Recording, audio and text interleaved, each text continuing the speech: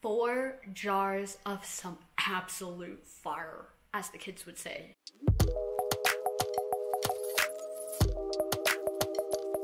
Hey y'all, what's up? It's Short and Stoned, but if you're new, you can call me Kelly. I'm a Canna advocate, medical patient, and solventless foods entrepreneur.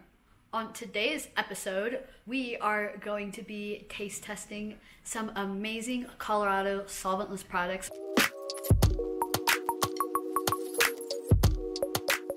So, I recently picked up these four jars of some absolute fire, as the kids would say. First, I'll start off with, might I say, my favorites. Here's some Halloween edition hash. It is Live Rosin by Jaws Hash. This is Friday the 13th, and it is a cross of blueberry and skunk. And man, it smells and tastes like it. Oh my gosh, just having that open, it's in the air, it's wafting. And then next is Frankenstein. And this is a lovely cross of Bubba and Cherry Kush. It is really heavy on the cherry, almost like a sweet cherry, kind of like a Kool Aid. I really, really enjoy this one. Next, we're moving on to some Tulu Terps. Very ecstatic to get my hands finally on these guys. Really respect what they're doing over there. The first one I have is Specimen X, and this is a cross of Devil Driver and I believe Purple Punch. I'm not sure on the second one, but definitely the Devil Driver.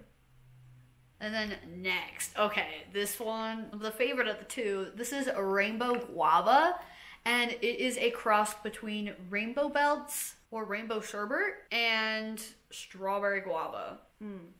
It tastes so much better than it smells. It's pretty mild on the smell, but the taste is amazing when consumed at the right temperature. And the Tulu Terps is going to be cold cure hash rosin. All right, let's get into doing some taste tests. There are some really distinctive flavor profiles in this lineup, which is why I chose to just do a general taste test versus like an overall, you know, rating, rundown, just show and tell. I wanted to taste and, you know, share with you guys the flavor profiles. I feel like some people, when they're getting into consumption, or even if they're newer to consuming concentrates, it can be a bit harder to find the vocab to explain the flavors or the aromas. So I want to break it down for you. But also, if you want to sesh along, now's a perfect time.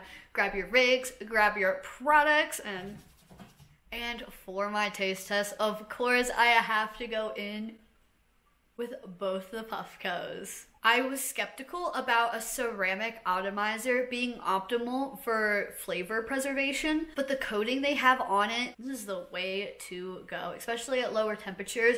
You can almost pull out every flavor profile and terpene. Let's start on the new peak. We'll end with the hash rosin since some may say that's a little bit better. Others might argue the live rosin might be a step above the hash because this is live. Let me know in the comments, which do you consider a step above? We're gonna start with the one that's crossed with the skunk and blueberry, Friday the 13th. This has the most head held effects out of any of them. Also, shout out Crystal Cutters for quite literally my favorite tool ever. Let's fire this sucker up. Go at green, which is 510.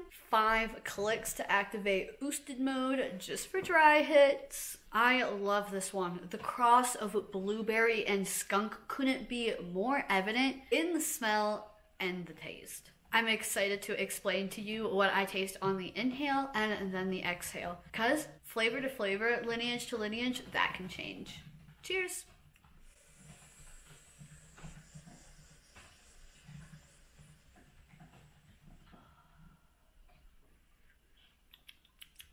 Wow. You smack your lips and that's all blueberry. Light gas on the inhale. Definitely a little bit of that skunk. That skunk funk. And then blueberry. I feel like this kind of like, you know, throwback to blueberry headband. I'm not getting blueberry flavor profiles like this anymore. Really well done. In fact, I have a journal where I log all my solventless terps and which are my favorite. And this jar, the Friday the 13th jar, made my holy grail list. It is all perfect high nines, perfect tens for me. And I don't give that out often. Flowers where flowers are due. Because, man, I, I'm just going to heat it up again. I can't say anything else. I just want to hit it again.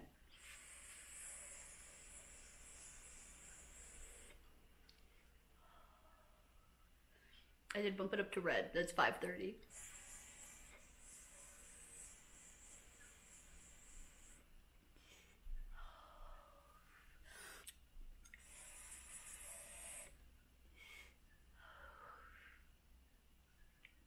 That made my holy grail list. Too bad it is a Halloween special. Next, we're moving on to Frankenstein, the one that tastes like cherry Kool-Aid. I am so grateful to live in a state with such amazing hash makers. Seriously, these people are blowing it out of the waters. Cheers.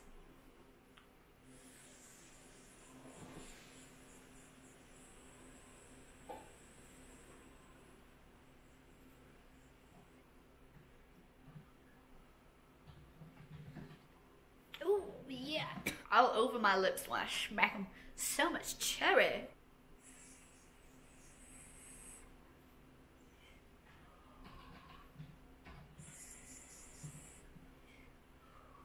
It tastes like cherry Kool-Aid. Crazy.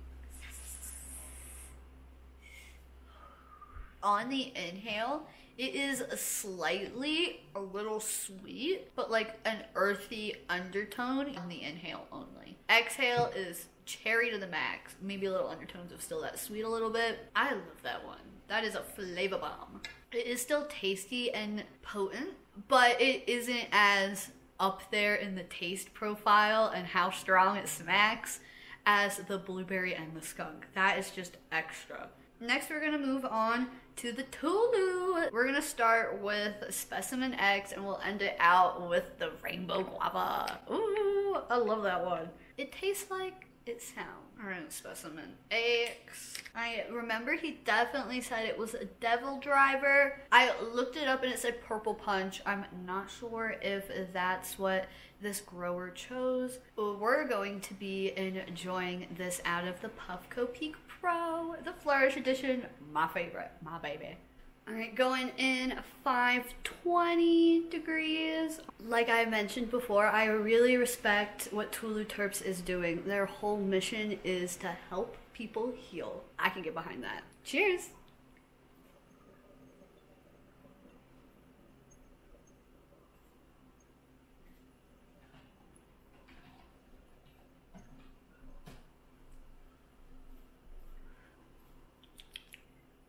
Wow.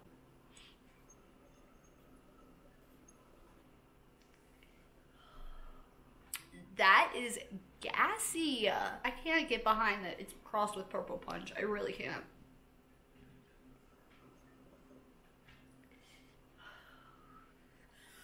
It's too gassy to be, unless Devil Drivers, particularly gassy. It's got a little bit of funk. Kind of reminds me of like almost GMO on the inhale, not on the exhale. On the inhale, that is pungent, but like besides, just reminiscent of GMO, like a little bit of funk, gas in there, kind of like foot after you've been working out. Some might not be drawn to that. I, however, am. I like the funky stuff.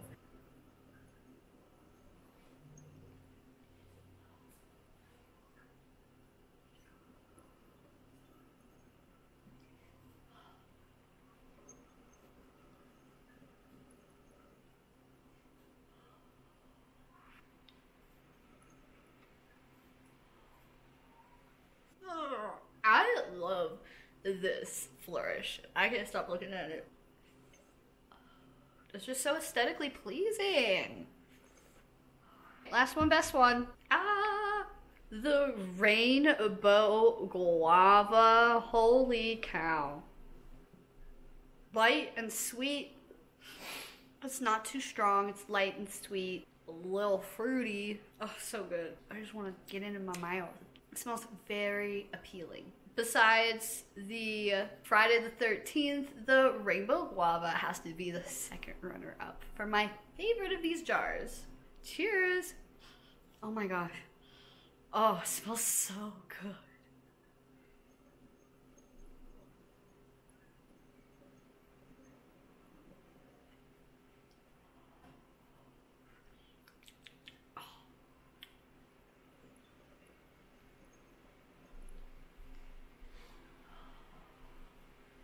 So smooth. I can keep gripping it.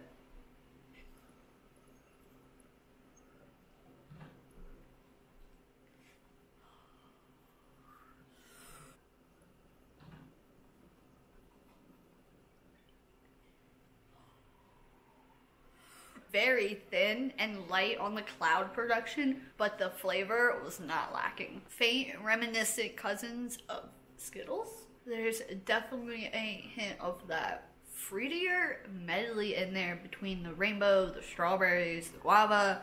It is all blending together nicely in a, like a little sweet little parfait. I love it. It is not too powerful on any single particular fruit. It just blends together nicely. I really like that. It's like a nice, refreshing one compared to the overpowering, gassy one.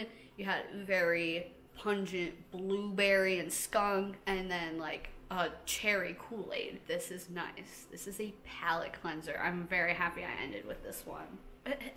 I'm super grateful for all of these jars. They are all amazing, rank very high on my scale, and the flavors were all there. And there are so many people that are out here doing it themselves. So that means small batches, and just better quality, in my opinion, of stuff you get in the store sometimes. But don't get me wrong, there are some amazing rec market companies and washers as well. In fact, next week I have a video coming out, and I'll be doing a similar style video but with some Colorado medical market solventless products. Thanks for tuning in, y'all. I hope you were enjoying along with me. If you like this video, make sure to give it a thumbs up and comment to keep the conversation going. Make sure to subscribe if you'd like to sesh and hang out with me more, and hit the bell icon so you don't miss an upload. If you're curious about checking out my content, my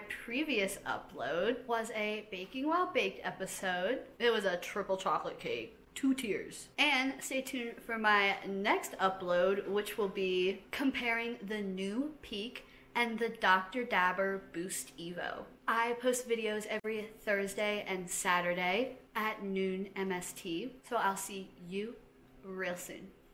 Peace.